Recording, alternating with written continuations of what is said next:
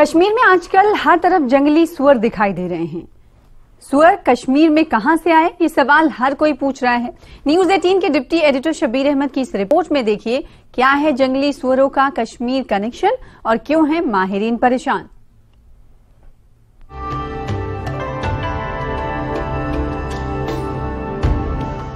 कश्मीर में अब हर जगह जंगली खिंजीरों की टोलियाँ नज़र आ रही है। इनकी यहाँ मौजूदगी से कई कहानियाँ वाबस्ता है।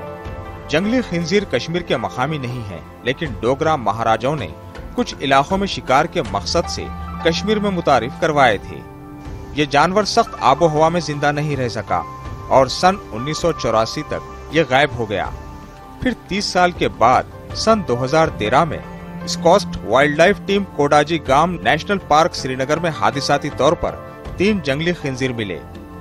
Doctor Khurshid HOD wild life SKUAST Kashmir उस वक्त टीम की सरबराही कर रहे थे। इसी दौरान शुमाली कश्मीर के उड़ी इलाके में भी जंगली खिंजीर देखे गए। 2013 में when we are doing our research in Dachigam on hangul तो वहाँ पे हमें फ़र्स्ट टाइम आफ्टर 30 इयर्स हुई जो हमने रीअपियरेंस उसका जो है देखा है पहली बार। उस time only three animals we could see और आज अगर आप देखेंगे वहाँ बदासी गाँव में तो वहाँ पे पूरा जो है मतलब वो एरिया जो है पूरा जो है ऑक्यूपाई हो गया है वाइल्ड बोर से। और ये वहाँ से जाके जो एडजॉइनिंग एरियाज़ है, वहाँ पे भी अब जो है फैल गया है। और उसके साथ साथ जो नॉर्थ नॉर्थ कश्मीर में बहुत सारे एरियाज़ में उसी दौरान 2013 के आसपास वहाँ पे देखा गया था और वहाँ पे फिर ये एक पब्लिश्ड इंफॉर्मेशन है। तो हमने भी पब्लिश किया है और उस एरिया से भी पब्लिश हुआ है कि वो प्रॉबली उसका जो है सोर्स है it it has come from the other part of the Kashmir तो एलओसी के उस पार एलओसी के उस पार से पॉसिबली बिकॉज़ वहाँ पे उसका जो है ऑकरेंस है उस एरिया में because that is more less more more less semi tropical यहाँ के नस्बत से तो वहाँ पे उसका ऑकरेंस है।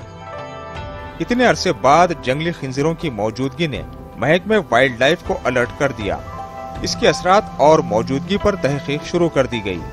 इब्तदाई तहकीक करने वाले आखिब रशीद का कहना है कि अब सिर्फ़ डाची गाँव में जानवरों की तादाद 120 से ज़्यादा है।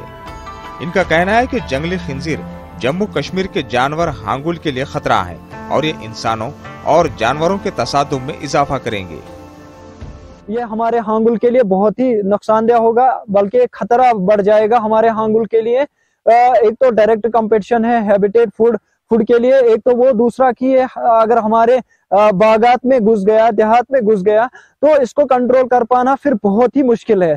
तो वक्त की अहम ज़रूरत है कि इसी टाइम पे इसको कंट्रोल किया जाए। इसको कुछ देर के लिए गवर्नमेंट से गवर्नमेंट को हम रिकमेंड करेंगे कि इसको कुछ देर के लिए वोमेन डिक्लेयर किया जाए ताकि इसी टाइम पे इसकी पॉपुलेशन जो है कंट्रोल कर पाए हम और ताकि हम आने वाले नुकसान और खतरात से बच जाए। वाइल्ड लाइफ के माहिर डॉक्टर खुर्शीद भी इसी तशवीश का इजहार कर रहे हैं। वो यकीनी तौर पर इंसान और जानवरों के तसादम का खदशा ज़ाहिर कर रहे हैं। ये तो अप्रूव करता है पूरा, ये बौगात को भी कर सकता है। जैसे आप पार्किपाइन की बात कर रहे हैं, उससे ज़्यादा खतरनाक ये हो सकता है जो वाइट बोर है।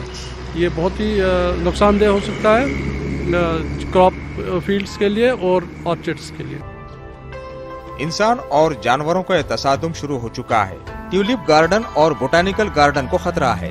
इस साल जब ट्यूलिप गार्डन तैयार हो रहा था, जंगली खिंजीरों ने गार्डन मैनेजर्स को मुश्किल से दो चार किया।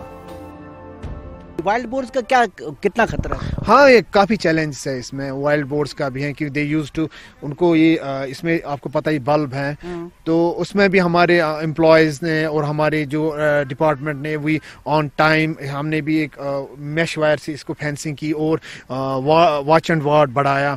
हमारे जो एम्प्लॉयज़ थे they were day and night वो ड्यूटी दे रहे थे सो दैट कि we keep these wild boars at bay कितने वाइल्ड बोर्ड्स है? मैंने जो एक सीसीटीवी फुटेज देखा बहुत बड़ी तादाद बहुत तादाद है और ये एक नया चैलेंज आ रहा है। मुझे लगता है अगले सालों में एक बड़ा चैलेंज इस गार्डन के लिए वाइल्ड बोर्स होंगे। बिल्कुल ये भी एक बड़ा चैलेंज होगा। कश्मीर की सख्त आबो हवा में जंगली खंजीरों की मौजूदगी और बखा एक गहराई से मुताले का तकाजा करती है।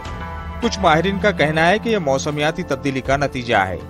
लेकिन किसी के पास इस बात का वाज जवाब नहीं है कि यह गैर मकामी जानवर कैसे ज़िंदा और बढ़ रहा है। काले रीछ, चीते और पोर्क्यूपाइंस इंसानों और जानवरों के तसातों में मुलविस रहे हैं और अब जंगली खंजीरों का इजाफा यकीनी तौर पर इस मसले में इजाफा करेगा। न्यूज़ एटीन के लिए श्रीनगर से शब्बीर अहमद की